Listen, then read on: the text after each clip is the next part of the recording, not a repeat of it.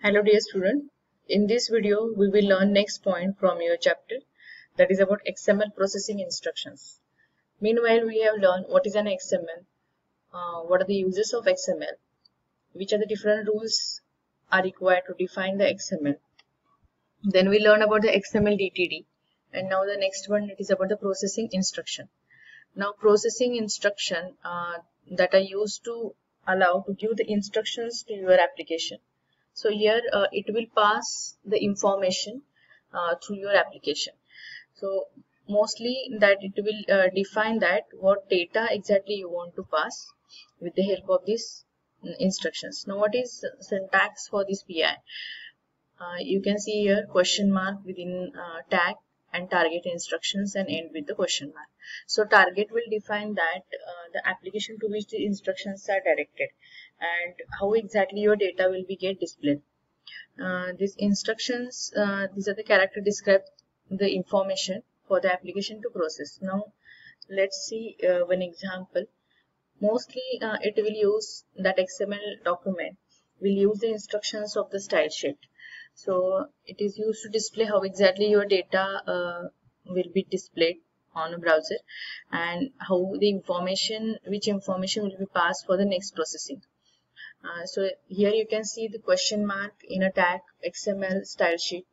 href, this is for the reference and it will refer uh, this style sheet tutorial point style.css example and its a format type is an text slash css so your input input means your xml file will be passed to this css and this css you know that uh, cascading style sheet it is used to present your data so this uh, will include the information that how exactly your data should be processed and uh, it should be displayed. So uh, this is one example. Though which are the rules that uh, these are the two examples of the rules. One is that uh, it is a combination of question mark and the tag. And uh, this example you can see welcome to page 10 of tutorial points. This is a valid example. Another one also is a valid example. If one of the question mark is missing then that will be an uh, invalid example. Now we will see some examples how exactly it works these processing instructions uh, there are two examples uh, two CSS has been created. One is a sample1.css uh, and second one rule.css. So for sample1.css, let's go to the editor. Here sample1.css, you can see this one and example PI. Uh, this is an example PI.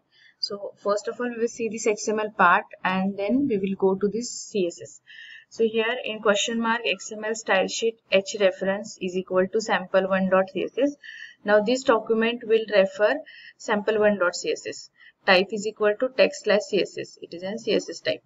Now uh, this information that you know, uh, this is a parent element and these are the child elements. Name, company and the phone. These are the child element containing the actual information. And uh, you can go to this one, uh, sample1.css. So sample1.css see here, contact info. Uh, here background color powder blue. Uh, so your that color background will be get changed. And name company phone these elements will follow these rules. Color is equal to red uh, font size 25 pixel font weight bold. So if we run this program let's run this output.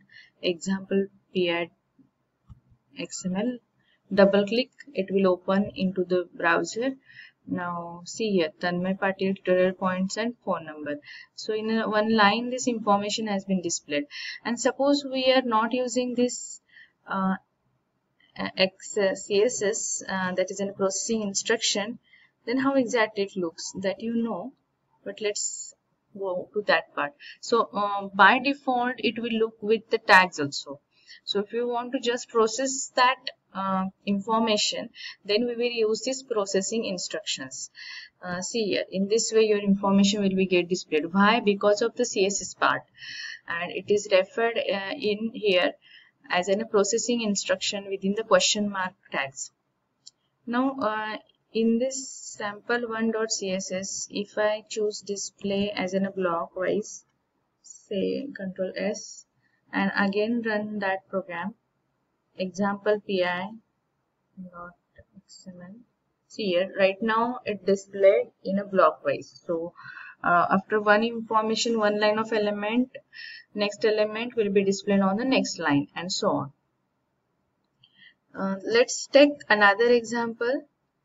Books.xml uh, book.xml and it is referring uh, this rule.css let's go to the editor see it's the coding part this is in a book.xml now xml version number 1.0 uh, encoding utf-8 uh, and this one second one part for processing instruction. Xml hyphen style sheet and type is equal to text slash css h reference is equal to rule.css h reference it will refer to that particular file rule.css uh, now books you know this is an a parent element and containing okay this heading part welcome to uh, computer books. Then book uh, these are the it's a child elements and containing elements as in a title author publisher edition and the price. So this is in your xml file.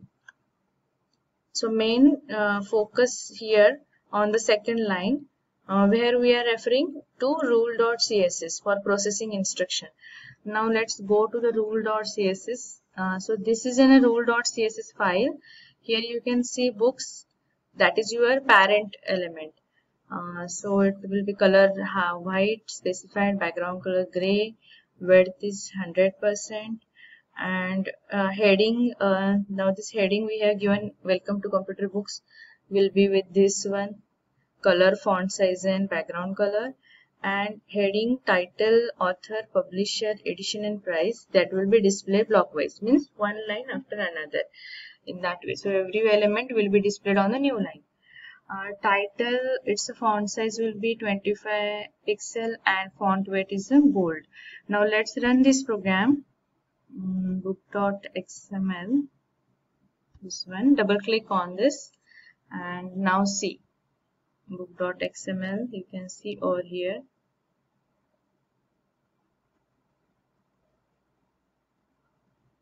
So this one has not been changed. Okay. Wait. Let me change one file.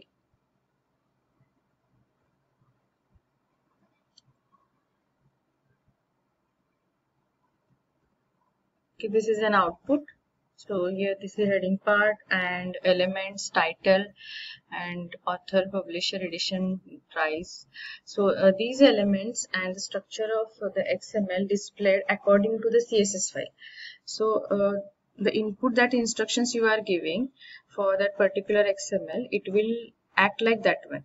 So by default uh, we are passing to a css file most of the times and css will apply its own style sheet format and this information you can use to display it and even you can pass if you want to pass only information uh, and removing the tags then we will refer this processing instruction concept. So this is an end of uh, this chapter and uh, we will see some examples of DTD that we have covered in the last video concept as in a DTD now what is in a DTD uh, DTD you know this is an uh, your so we learned about the DTD. DTD, you know, it is for uh, document type uh, definition. It is used to validate your document. We have seen uh, it's a syntax, this one doc type element and DTD identifier.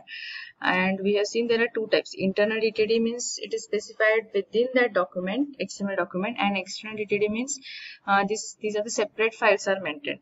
Now, uh, we will see directly examples of external and internal DTD. Now, uh, this is uh, external DTD, DTD external. First of all, let's go to DTD uh, internal. So it looks like this one, XML version number uh, 1.0 and here you can see doc type note, element note to from heading body and element to element from heading body so these uh, child elements are containing actual data and it is of the file type as a PC data. So PC data it is a pass character data. So it, it will follow the rules and regulations of pass character data.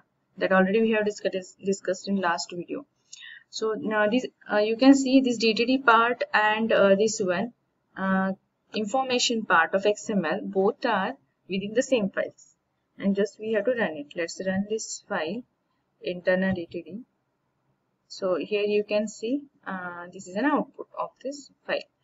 Now uh, let's go to the external DTD external DTD this one DTD external. Okay see. Now here uh, XML version 1.0 encoding uh, UTF-8 standalone is equal to no. Yes that is a main important property that you have to set it as a no. If you are referring external DTD then it must be no. If uh, and if it is your uh, internal DTD then it is a yes property. Now here uh, which type we are uh, specifying? Document type address system. Uh, here you can specify system or public identifier. So system uh, it will define the location that is an address dot DTD now let's and this is your part address parent element name company phone and this is your child elements. Now let's go to the address.dtd this is an address.dtd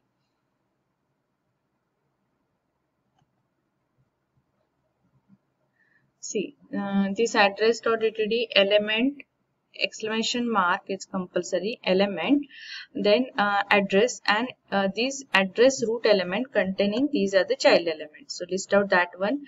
And after that write down uh, this name PC data, uh, company, uh, phone, all these are the hash PC data. So let's run this program.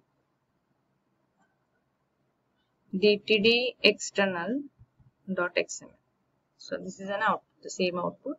Only we have added this component as in a DTD rules and regulations outside of that particular uh, document